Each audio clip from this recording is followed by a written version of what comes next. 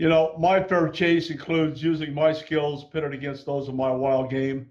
You know, for an ethical take, it has to be an ethical take. It's about fair chase. I'm Don McDowell, huntingfishing.com. Check it out.